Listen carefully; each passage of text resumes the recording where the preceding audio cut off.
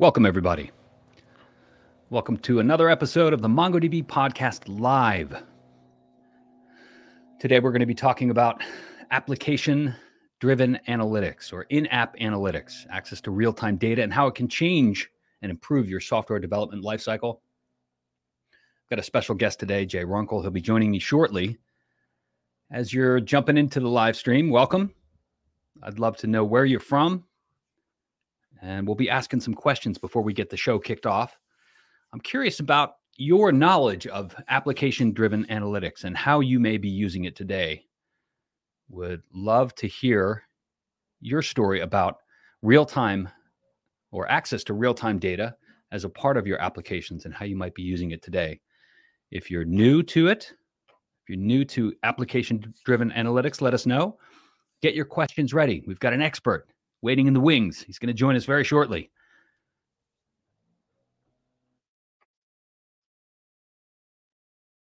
All right, waiting for folks to join. Welcome to the show.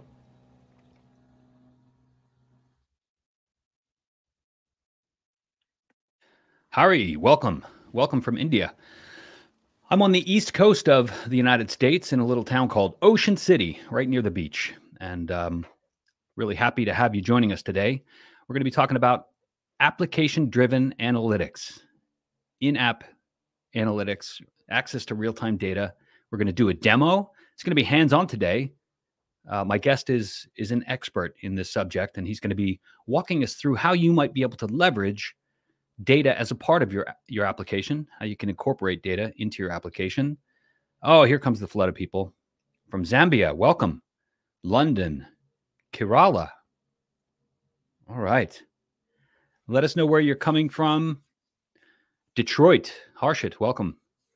All right. it's so great to have you with us today. As I mentioned, the topic of the day is application driven analytics and how important incorporating uh, analytics into your application can be, how you can improve your application with that. So, we've got an expert that's going to be joining us. His name is Jay Runkle. Jay Runkle is a distinguished solution architect at MongoDB and he's got a lot of experience helping customers with data. Uh, he and I used to work together in the same team before I moved into developer relations. I'm really excited to have Jay back on the show. As you're coming in, think about your your questions that you've got for an expert in this space. If you're curious about how you might be able to leverage uh, analytics as a part of your application, get those questions ready. Let us know what you're doing today as it relates to in-app or application-driven analytics. Are you are you using them today? Tell tell me about your your uh, your application. If you've got a, a software project where you're leveraging real-time data, let us know in the, in the comments. I'm curious about how people are using analytics as a part of their software applications today. All right, enough from me.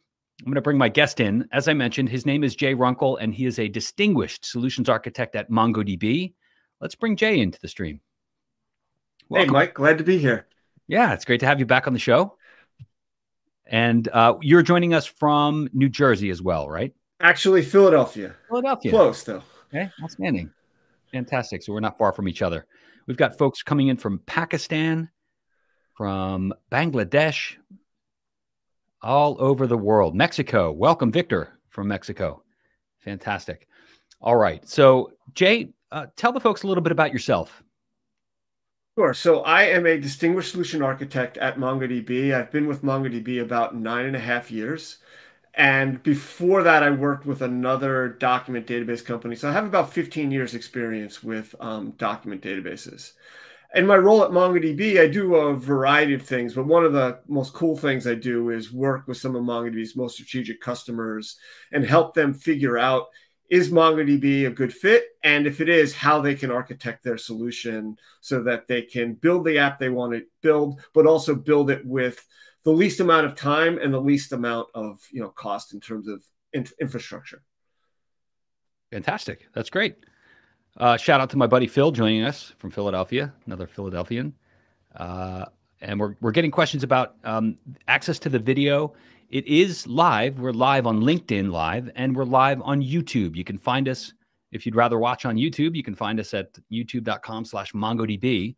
We'll be in the in the hero section of the MongoDB YouTube page. Yeah, Great. The video will be really helpful here because I'm going to actually walk through over the next three weeks how to build an app-driven analytics application using all of the different components of MongoDB's Atlas Developer Data Platform. So being able to see will be really important, I think. Absolutely. So let's break down the live stream. We're going to do this in three parts, and um, let's let's go over some of the things we're going to cover today and what folks might want to do to get prepared to follow along. Okay. Actually, if you want to, if you want to like share the slides, I think I have a couple slides that kind of yeah yeah there you go. It. Perfect. So if I go the the, the three week kind of plan is to do on the first week, which is today, is to talk about what app driven analytics is and then talk about a particular use case that we're going to use for the context of the app we're going to build, which is around managing rocket launches, which I think is pretty cool. And then um, and just just uh, as a background, this kind of use this app that we're building is actually one that I got by working with a MongoDB customer. So this is you know with a little bit of real world massaging because we only have three hours and we can't use a massive cluster. It is representative of what you might do if you're managing rocket launches. So we'll talk. We'll we'll then for the rest of today build some of the components of you know some of the look at the data, look at some aggregation queries, which you might use to be the basis of your analytics, or also some visualizations, some charts. And that'll be today.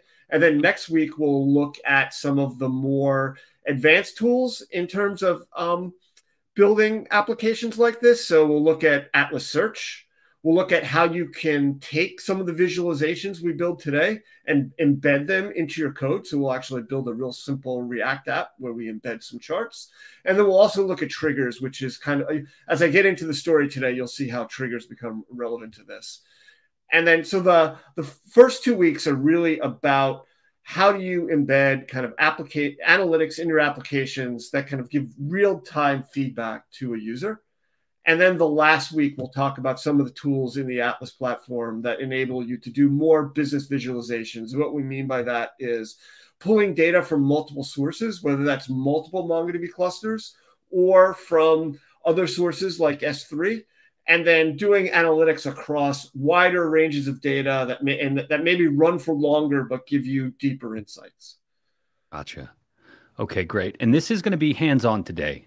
So Correct. if you're interested in following along, is there somewhere we can send folks for the the requirements prereq? Yeah, yeah, yeah. So I, I should mention there's that pre-work row up there. So I did um, I did create a short video that tells you how to set up your development environment, which really means how to create a free account in Atlas and how to download MongoDB Compass and then just how to kind of set up the connection between the two. So everything is um, in GitHub. So if you you know, so I'll just leave this up for a little bit while I'm talking. So if you want to go to that, you know, GitHub repository and clone it, what I have in there is written instructions, there are videos, um, any of these slides that I'm showing are in that GitHub repository. Any code I show today over the next couple of weeks or any configuration that is like JSON is all in there, as well as the data we're going to use. So even if you haven't done the pre-work, you know, you can certainly um, just watch today and then uh, in, in your own time, grab this recording on YouTube or something and try it and follow along. Okay, great. So we'll we'll leave that uh, that banner up for a little bit. If you want to jump over to GitHub and download or, or clone that repository, uh, that'll be available. And of course, keep the feedback coming if you have questions as you're going through. We'll try to answer them live. We're going to be limited in the ability to type responses, especially on li- uh, on LinkedIn Live. Uh, unfortunately, I can't type a response that'll go to the comment section, but I'll try and answer uh, questions that come in live. Uh, great. So with that, Jay, you want to jump in? Sure. So, like I said, today what we're going to focus on is I'll give an overview of the Atlas Developer Data Platform so you get an idea of what we're going to be working with. I'll give a little bit more detail about the Rocket use case we're going to build an app for. And then the rest of the today we'll spend, we'll load some data, we'll inspect it, we'll run some queries in Compass, and then we'll build a couple analytical queries so you can see how that's done in these tools. And then finally, at the end, we'll build a chart in MongoDB's chart. So we'll take instead of you know when, when I'm talking the aggregation framework, that's using MongoDB's query language to actually build queries. And with charts, we're going to be building visualizations that under the covers will generate these aggregation queries and you know display the results pictorially.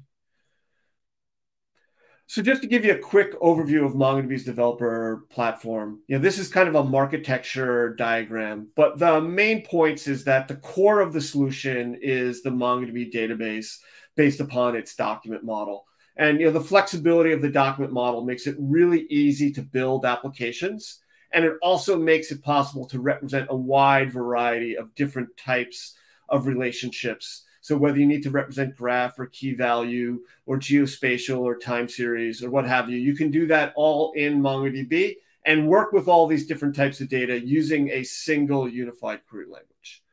And then MongoDB, what we're going to be talking about today is MongoDB Atlas, which is a fully managed platform for running MongoDB. You just and you'll see if you've done the pre-work, you just go into Atlas and a few mouse clicks, and you have a MongoDB cluster running. We deploy it for you. We manage it. We back it up. You know, it's just, you know, you just build your app. It's, that's kind of really the, the powerful thing about it.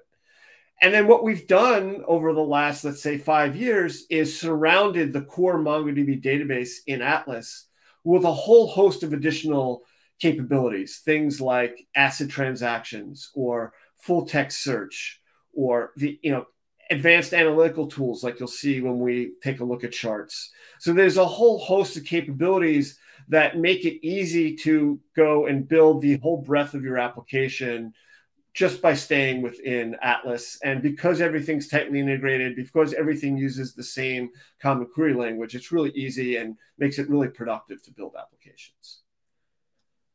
Great.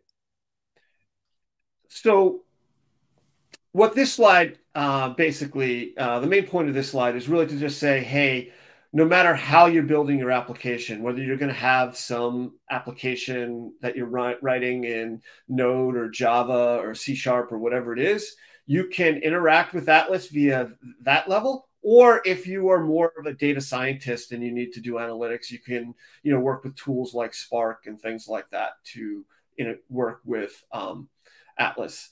And you have, in terms of you look at these three columns here, you have three main pillars of functionality. You have the core operational database functionality that MongoDB provides in terms of a document databases, indexes, you know, Atlas search, those types of things. You also have a set of capabilities for doing in-app analytics, capabilities like the aggregation framework and row and columnar indexes and time series collections and then you've got a whole host of tools that enable you to do longer running batch analytical processes, which we'll look at the third week in terms of MongoDB's data lake and data federation and Atlas SQL products that make it uh, possible to do those types of uh, analytics. So I don't want to spend a lot of time on slides. I just got a couple slides here to talk about the use case, and then we're going to jump right in. So um, the actual use case, like I said, this is modeled after a project I worked on with a MongoDB customer.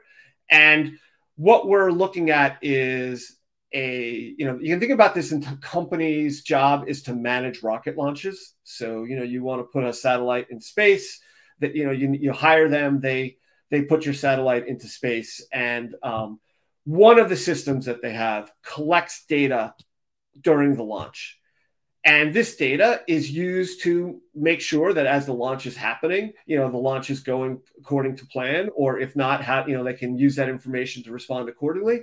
And then it's also used post-launch to comp- you know, to understand more deeply how the rocket behaved and maybe tweak things for the next launch.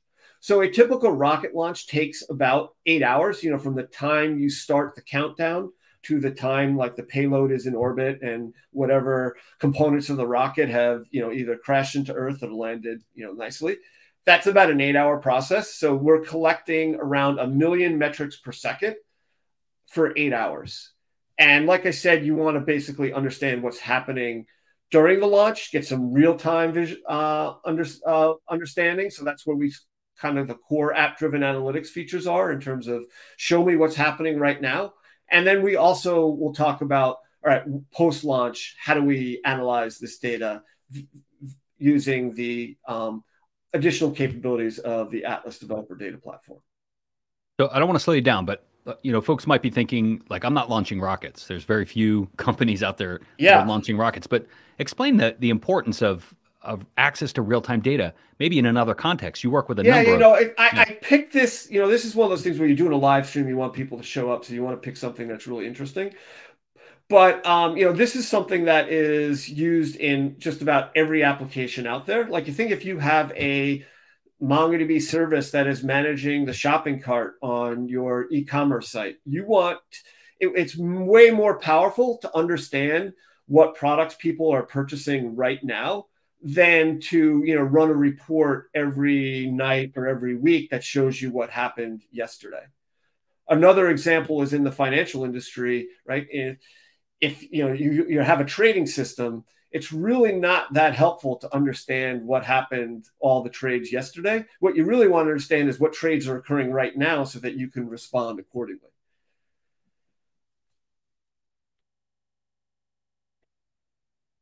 That helpful yeah, definitely helpful. Okay. Okay. Excellent. So this is what we're going to build. This, or at least this is the problem we're going to solve. And then the actual solution architecture in Atlas. So this is how we're going to build it. So what I have is I have some open source data from Blue Origin, so that if you've um, looked in the GitHub repository in the data folder, which I'll show in a second, you'll see there's some data there, and that's just some data from a Blue Origin launch. And then you can imagine in this use case that there are people you know they're managing the launch and they're going to be generating data themselves and in this case they're going to be generating notes and comments that we're going to need to manage. So the way this is going to work is that as the rocket so we're not going to actually have you know a live stream of data. It's just not kind of possible to if you set all that up it's just kind of too much work. But we're going to load some data into our atlas cluster that's going to represent that uh, um, you know the stream of that data and we're going to load that into Atlas cluster, and then we're going to use some of the capabilities of Atlas to to manage and interact with that data. Similarly, we're going to also load the notes information into another uh, component of our Atlas cluster. So if you think about our Atlas cluster, we're going to have a database. It's called launch data. We're going to have one collection. So a collection in MongoDB is kind of like a table in a relational database. We're going to have one collection for the data from the rocket. And we're going to have another collection, which is going to be the notes that are generated by the, you know, the individuals during the launch. And those pieces of information are going to be correlated because, as you can imagine, during the launch, somebody types a note. They want to essentially know when that note was um, taken and kind of what they were looking at so that when they go back post launch, they can kind of drill right into that point of the data and very easily, you know, um, figure out what was happening. And we're going to interact with this data and kind of do app-driven analytics using a number of different MongoDB components. One is chart uh, Compass, which is a, a tool that I, um, you know, that the pre-work asks you to download and install. It's open source, so there's no charge for that. And we'll also be using Atlas Charts, which is the BI visualization tool that's a part of um, Atlas. And we'll also be using the MongoDB aggregation framework, which is just a component of the MongoDB query language that enables you to do complex analytical queries. And that we'll, we'll focus on that part today. And then over the you know coming weeks, uh, we will also pull in other sources of data, like I have some weather data in an S3 bucket, and we'll use MongoDB Atlas Data Federation to do queries that join both the launch data with the weather data so we can understand how the weather impacted the performance of the rocket. And then we'll also do that. You know, most of the live stream will be using the MongoDB query, query language, but we'll also, uh, on the third week, I'll show you how you can also interact with this data using, using a product we call Atlas SQL. So we're going to basically, we're going to build this over the net course of the, um, the next three weeks. Now, the only difference will be is that we're going to use all of the kind of free tier capabilities offered by MongoDB. So in a real production system, you know, a million metrics per second, we would probably have a large sharded cluster, and we're only going to be using a very small M0 cluster. So we're going to work with a much smaller amount of data, but everything we do would translate to a real production deployment. Great. That's important to know. And folks can follow along completely for free using Atlas. M0 is the tier size, it's a shared instance, and it's free forever. Yep. And if you look in the GitHub repository, either there's a video there that walks you through setting all that up, or there are written instructions in the main README on the GitHub project as well. Great. So let's kind of let's jump in to um, and get started.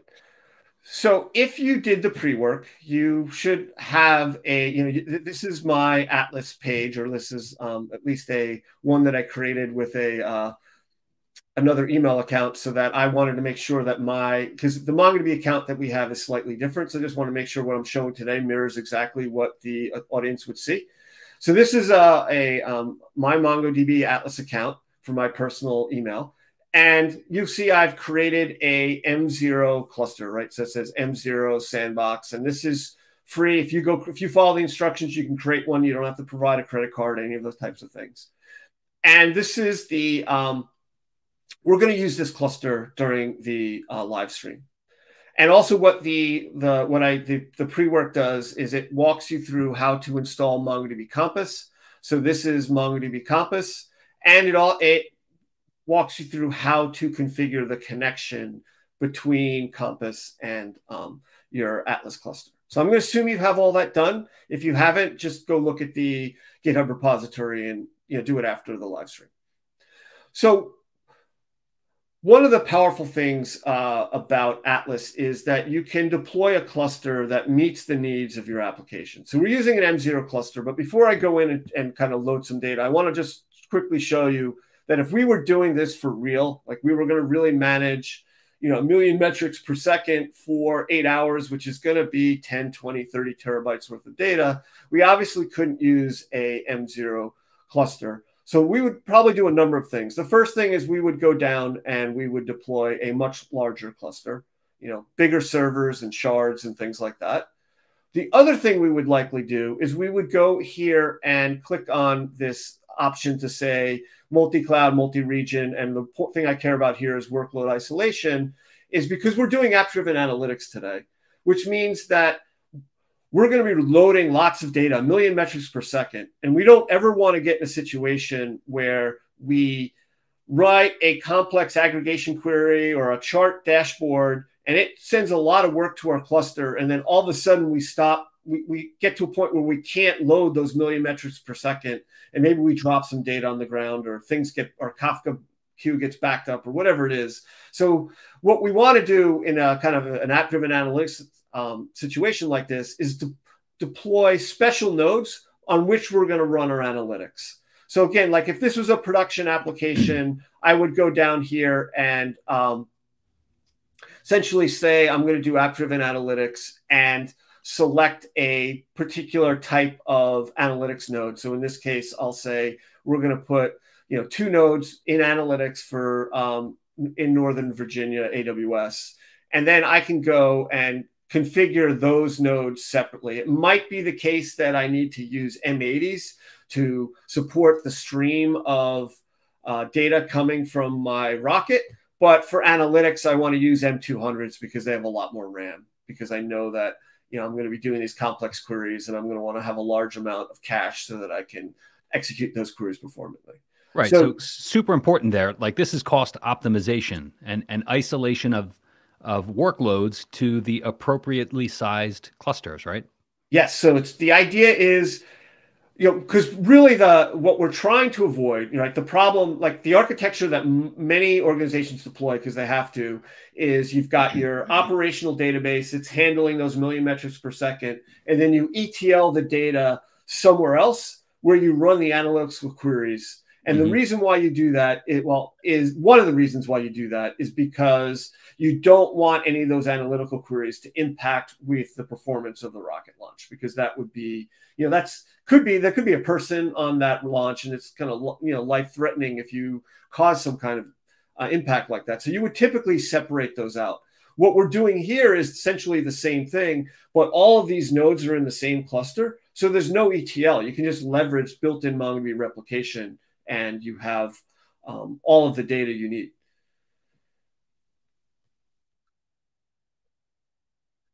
so that's kind of how you would do it if we were doing in production. But we're obviously not going to do that today. So we're just going to go with our M0 cluster without any analytical nodes. And we're going to start working with the uh, rocket data. So let's kind of do that. So what I'm going to do is bring up Compass And I am already connected to my Atlas cluster. If you, um, the pre-work walks you through how to do that. So it should be straightforward. And you can see here, this is an empty database. So I haven't done anything besides just set it up like I did in the pre-work. So the first thing we need to do is we need to create a MongoDB database in which to load our data. So I'm going to click on create database and we're going to call it um, launch data. And the collection name is going to be rocket data.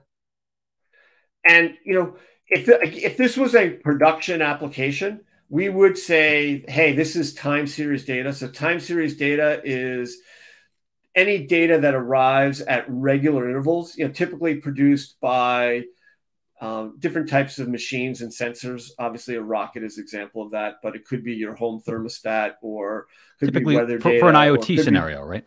Yeah, IoT yeah. It could be like car telemetry data. I work with a, a large car manufacturer that puts uh, a device that captures telemetry data as you're driving along the road, things like that. And so you would check this, probably use these in a production scenario and fill out this form. Um, as I was setting up for the live stream, this adds a little bit more complexity, and I think it takes too long. But almost everything we do today would work with live stream uh, with time series collections. So we're not going to use them, but you probably would in a production scenario. So we've got our launch data database with our rocket data collection, and we're going to go ahead and create that um, that database. And you can see here now, we now have a launch data database here on the left-hand side. And if I open that up, we've got a rocket data collection in there, like we described. And I'm going to add one other collection called notes. And these, that's going to be where we're going to store the notes that are generated by the technicians during the launch. So that's pretty straightforward. The next thing we're going to do is load the data. So I'm going to just click on the rocket data collection and then add data and then import from file. And then you can just click select file. And um, I have this all set up so it just works. But this is, if you look at the path here, it's within my GitHub folder, the Rocket live stream archive and a repository, and then the data folder, right? Just probably should show that. Um, the, the, the setup, the architecture of the GitHub repository is really three folders the data, which I'm just about to load, and then I've got folders for each of the live stream. And if you click in like live stream one, it has the slides I just showed through, showed, and then some of the queries that we're going to build, which we haven't gotten to yet, but those are um, in here as well. So if I go back to Compass, um, what we're going to do is I'm going to select the Rocket data file and to open and just say import and this will take it's about 120,000 records, so it'll take about 60 seconds. Um, so you know we can. Uh, yes, I'll just so once this is done, we'll load the notes collection, and then we'll look at the data, and then we'll start writing some queries. So we're almost there. We're nothing better on live stream than watch a progress bar. Let's watch something. Watch the water boil. Exactly. All right. Can, cool. so while while we're waiting, there's a question. Yeah. Let's show it. Great question from Elil Godsent. Can charts now be deployed on mobile apps? So charts. So you'll see on the next live stream, I'm going to embed charts into a React application. Mm-hmm. So while there isn't a like a charts SDK that works with um, Kotlin or something like that, but if you built a you know React Native app, or you know it should be able to you should be able to embed a chart into a mobile app. Yeah. So what you what you end up getting is a an embeddable uh, set of JavaScript. So Correct. if you're using a framework like, uh, well, even like Flutter, I mean, you could you could. Yep. Yeah. That would be another way to do it. Correct. Okay. Yep. All right, so we I just loaded the rocket data. I'm going to load the notes and then we'll take a look at it. So just go to the note, just click on the notes collection, click add data, import from a file, and then select the file. In this case, we're going to select notes. This one only has like 200 records, so it's pretty much instantaneous. All right, so now we have the data. So once you're at this point, you should have the launch data database with the two collections with the data loaded.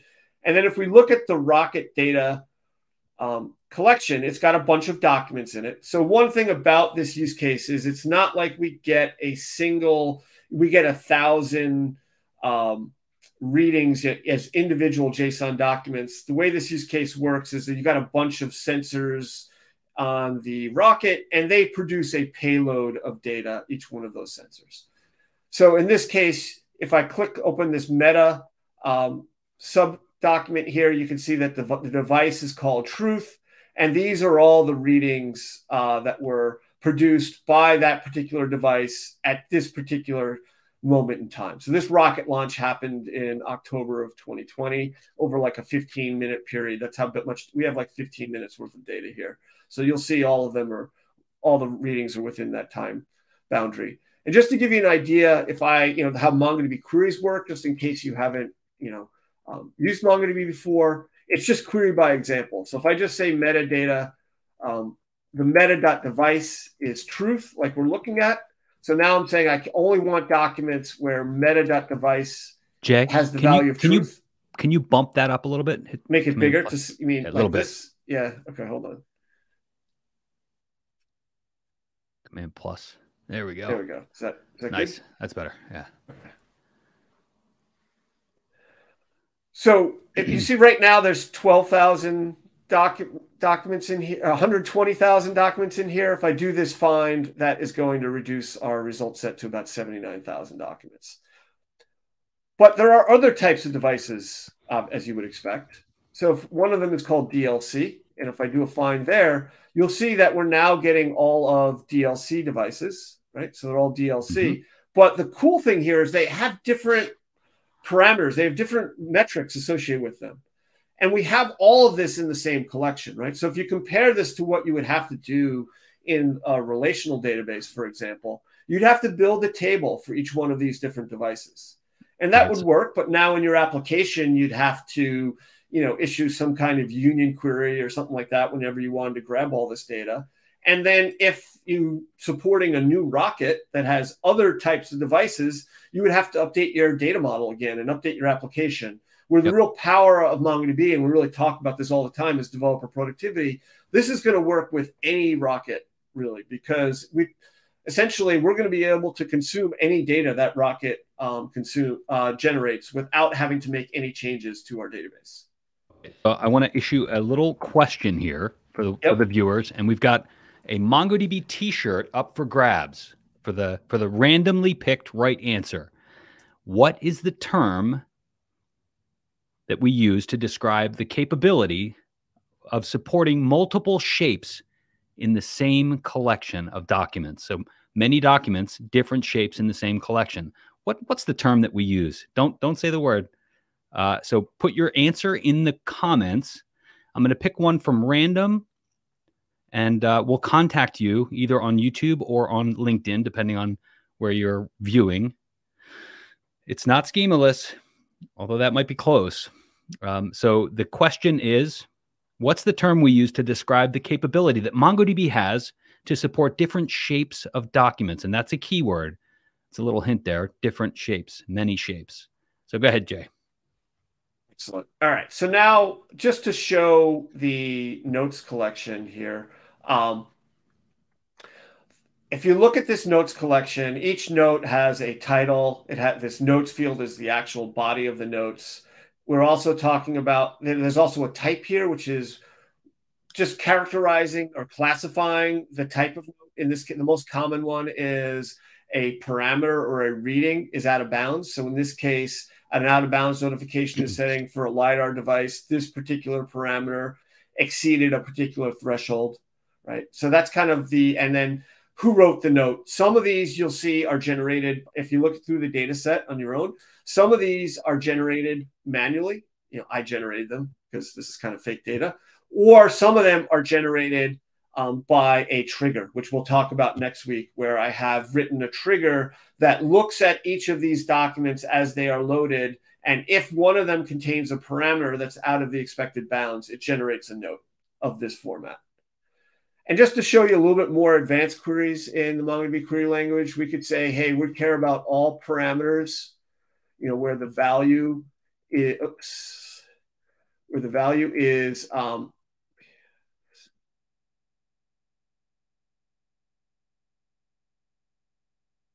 Right, so that that's very similar to what we before, but I can add more constraints to this. So I can say where the value of the of that particular value is greater than 28. So one thing about when you're building MongoDB queries in this type, like a find query, as we call these, um, when we're just looking for a set of documents, it's really query by example. You just specify, you know, for each each of the fields that you care about, what value or what value specific value you're looking for, or what range of values is acceptable. And if I do find here, um, you'll see that none of these uh, actually return. So I think this is supposed to be an uppercase S, and then maybe there we go. So there are two documents that that are in the data set for that have a parameter of OMPS Doppler speed NPS 4 and the value is greater than 28. You can see this one is 28.9 and this one yeah, so both very similar. So that so that's how you interact with MongoDB in terms of just finding data. But we want to do analytics. So if you look here, we've been working under the Documents tab. Where in MongoDB, we, there's a component of MongoDB called the Aggregation Framework. If you want to learn more about it, Google MongoDB Aggregation Framework. But the way you interact with the Aggregation Framework is to use this Aggregations tab. So I'm going to click on the Rocket Data Collection and then select Aggregations. And what you'll see here when I get to this tab is we have the we have the same documents that were in Rocket Data, but now they're just presented horizontally across the screen. And you'll understand why we're doing that in a second as we when we start to build this query. And what I'm going to do here is just build a group query. So we well, all I want to do is understand what are the different types of devices in my data set and how many readings I've gotten from each one. Right. So that's kind of a you know this the group operator is typically the basis of many types of aggregations where you group by a certain set of the data and then count average you know sort whatever it is calculate the standard deviation for the members of the different groups. So let's we're going to do a simple group here. So i'm going to click on add stage and then i'm going to select uh, group. So there are a whole host of different operators supported by MongoDB. And this oper- this set of operators is makes it possible to build any query that you can build in SQL. Now the, the language is different, but in terms of if you know if you want to do a, a left outer join or something like that, you can definitely do that in this uh, query language. So we're going to grab group. And um, when I click on group, it gives me a template to fill out. So the field that we want to group by goes, goes right here. So in this case, we're going to group by meta.device. And I need to put, and then anytime in the aggregation framework, if you want to, if you want to reference the value of a document, you just proceed that particular um, field name to with a dollar sign, and that says grab the values from the documents. And then we're going to just put count here. And the accumulator we're going to use is appropriately named dollar count. And then we don't need to pass any arguments to it. So we're just going to do an empty um, braces there. And then what you'll see here now is like we saw when I did the find query, there are one of the devices is called LiDAR, and there are 792 documents in the um, database that contain uh, that are for lidar devices. There's 600, there's 66,000 for the truth devices, and there are 32,000 documents that contain uh, readings for the from the DLC devices. So this is a really simple aggregation query. Let's kind of like you know uh, turn it up a notch, as Emeril used to say. So what we're going to do now is we're going to typically you don't group all of the data. Typically, what you're going to do is you're going to group a subset of the data you care about. Maybe you care about, you know, oxygen flow rates in one of the, you know, engine stages or something like that, right? So you can, what you want to typically do is proceed a group with a filter so that you select the subset of the data you want to group. So I'm just going to collapse this group stage for a second because we're going to use it. And I'm going to add another stage. And in this case, the filter stage is called um, dollar match. So we're going to select that dollar match but I want my match to come before my group, right? Because I mm-hmm. want to filter always. and then group. Question? All no, I'm just saying always. You, you as many times as possible. You always want that that match stage to come first. Yes, because right, groups are really expensive operations. Mm-hmm. So the more you can filter out the data set to only be the data you care about, the faster this query is going to run. Yeah. All right. So I just want to take a, a pause before you add that match. So the correct answer is polymorphism, many shapes, many shapes. So MongoDB supports different shapes of documents in the same collection. So Q-tip, you are the winner. So uh, we'll have to get in touch with you. I'll uh, I'll hit you up on YouTube. Thanks, everybody. And I was going to say flexible document model. So I know a lot of people said flexible schema. These yeah, are great I... answers, by the way. I was looking for polymorphism, many shapes. Excellent. So, in order to keep things manageable, what we're going to do is we're going to look, we're going to restrict the set of documents we're going to process by time. So, the query we're going to put in here is time, and we're going to, like you, like you saw me do before, I'm going to only care about meetings that occurred after a particular time period. So, it's going to be um, sorry, ISO date, and then I am just going to copy this time from the document in the GitHub repository, which I'm doing off screen, and paste it in here. If you want that particular date, you can just go find the aggregation queries in the GitHub repository. So now that gives us the um, the query. Now you can see that Compass isn't happy. It's giving us this little X arrow here, which most likely means I forgot a curly brace. So when I do that, it'll run the query here. And what Compass will do is put the results of this stage to the right of the my actual code here. So now these are where the top row contains all the documents in the collection. The second row contains only those documents that have a timestamp that occurs after um, like 1:46 p.m. on the 13th of October 2020, and you'll see that this this document um, comes just after it, and so on and so forth. And then, so we still have our group. So if we open up our group now, you'll see that we have the same results. The numbers are just smaller because we're working on the uh, small, you know, on a smaller data set because we have that match applied. And then I'm going to do one other thing just to kind of, you know, often, you know, if, if developers have looked at MongoDB in the past, you know, they're not aware that MongoDB can do, you know, MongoDB is an ACID compliant database, which it is. It also can do joins. So I'm just going to show you that as well, just to kind of prove that point. So I'm going to click and add another stage. The join operator in MongoDB is called dollar $lookup. So we're going to do a lookup and we're going to join the documents from this in this query to the notes, right? That's the only other collection we have in this particular example. So we're going to join to the notes collection.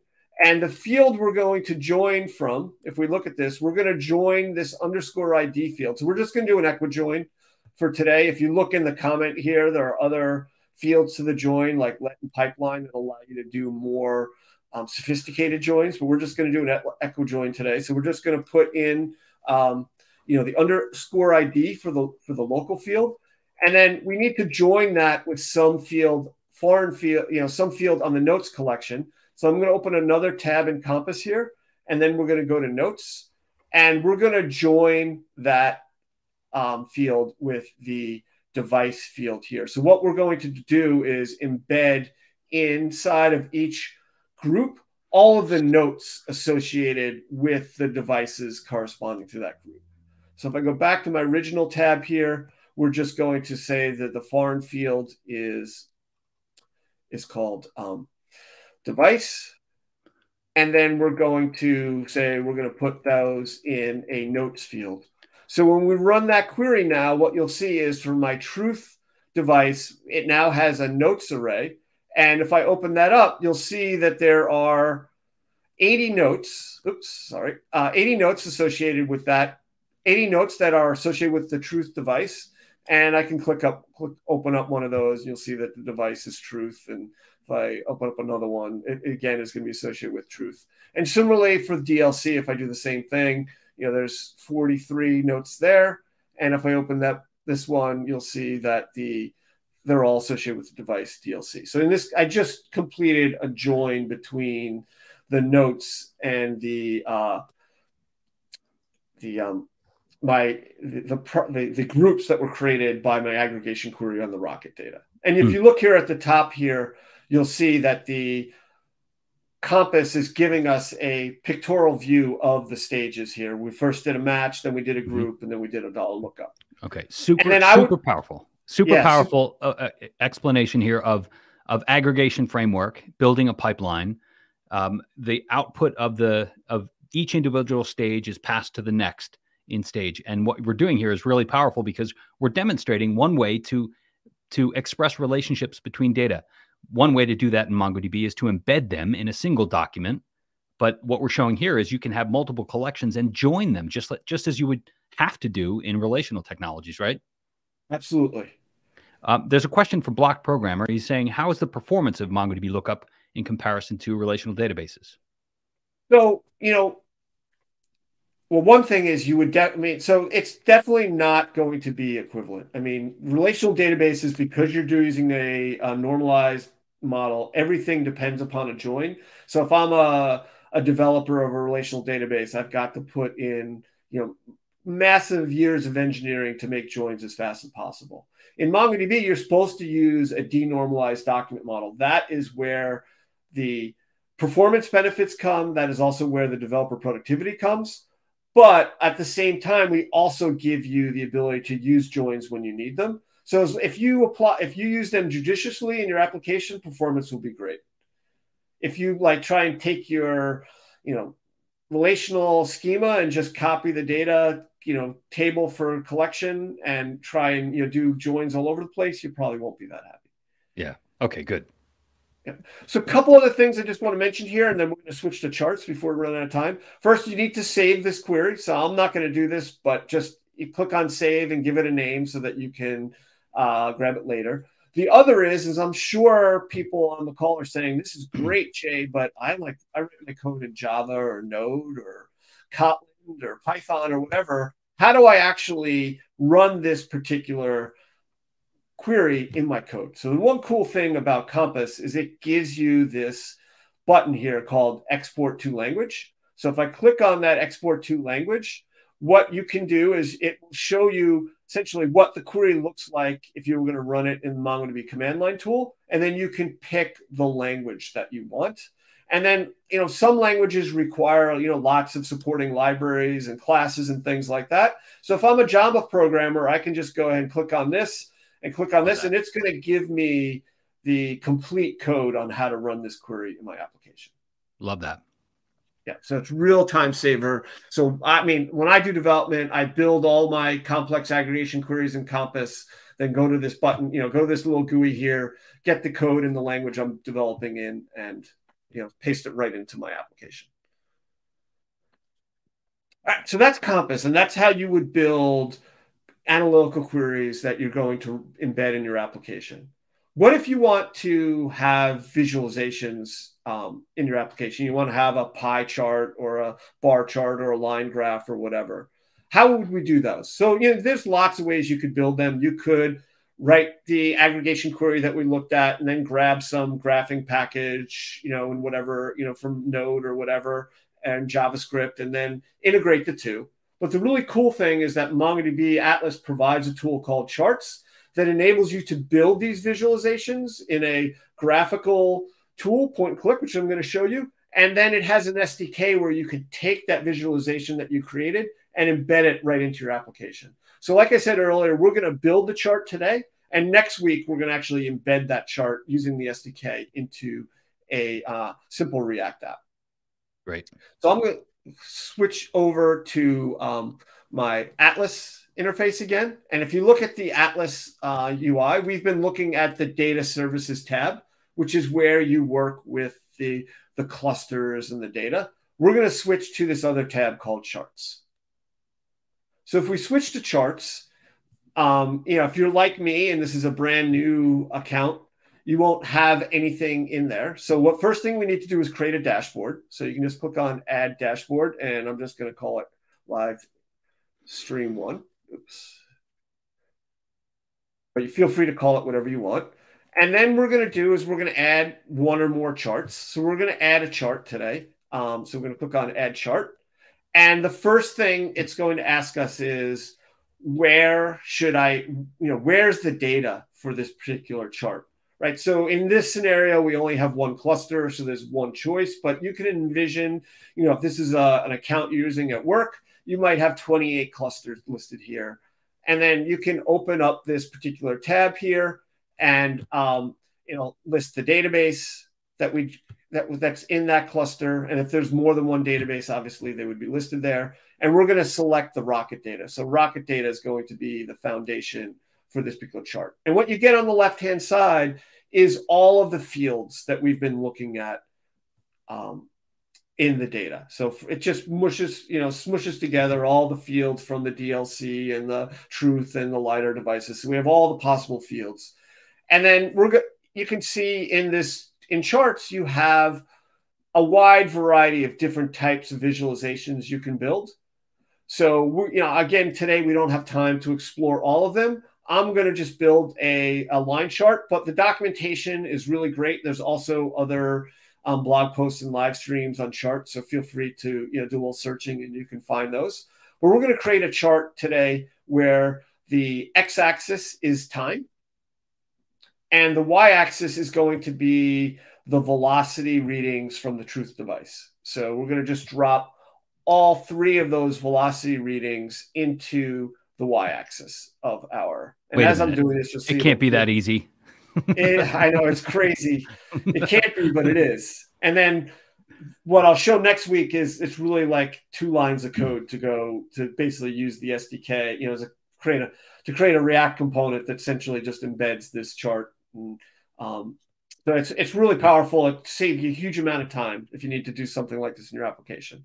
So this is what you get by default. And then I'm sure you've used tools similar to this where you got to go in now and, and clean it up a little bit. So, you know, so this could be uh, truth, velocity, uh, velocity, right? So we can give it a name. And then these field names might make sense to whoever is generating the data, but they probably don't make that much sense to, you know, the, you, whoever's reading this chart. So we can go in and customize. You can essentially customize everything. In this case, we'll customize the fields and I'll say I want to do, you know, I want to clean up this particular first velocity reading. So I'll click on label override and, you know, we can just change that to velocity and or something like that, right? So you can see how you can just go in here and, you know, clean this up so that it, you know, it, it looks really good and then embed it into your application.